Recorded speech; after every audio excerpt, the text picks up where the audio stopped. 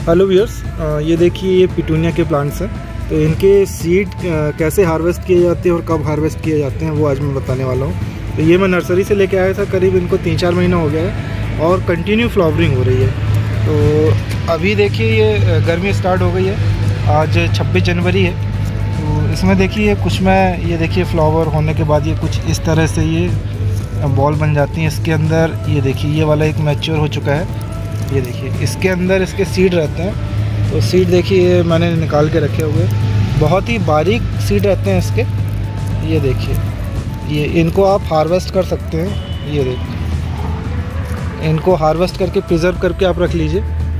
और जैसे ही जून का महीना आता है तो 15 जून के करीब इसकी सोइंग कर दीजिए।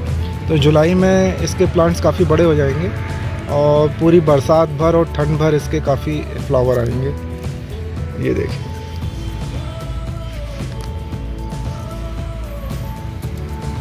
मेरे पास करीब चार या पाँच कलर के प्लांट हैं।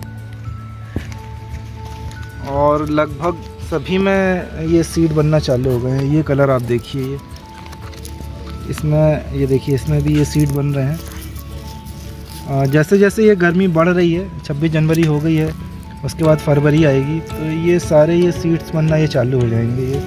तो इनको हार्वेस्ट करना बहुत ज़रूरी है। तो देखिए मैं, मेरे पास कुछ इस तरह की ये डिब्बी है, जिसमें मैं ये हार्वेस्ट करके इनको रख रहा हूँ।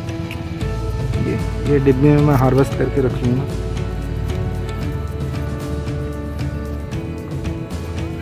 बहुत ही माइन्यूट इसके सीड हैं ये। Thank you so much.